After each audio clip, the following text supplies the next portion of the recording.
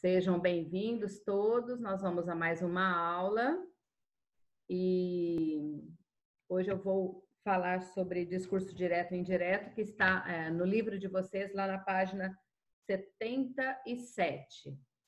Só deem uma olhada na página 77.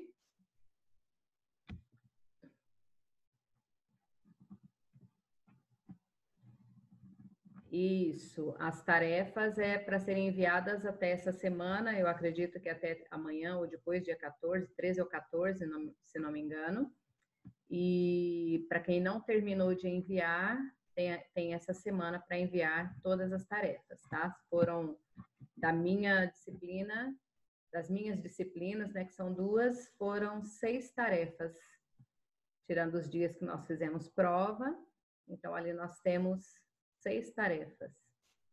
E se vocês não, não, isso, o João já enviou todas, né?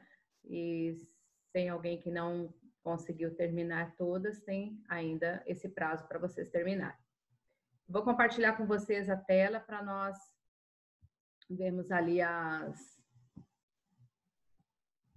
a, a parte de discurso direto e indireto, não, não é isso daqui, é isso daqui que eu quero. Isso.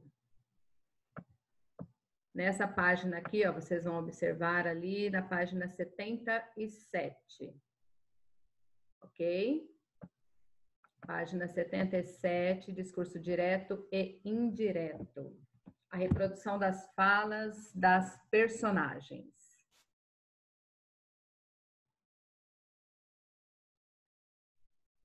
Um momento, por favor.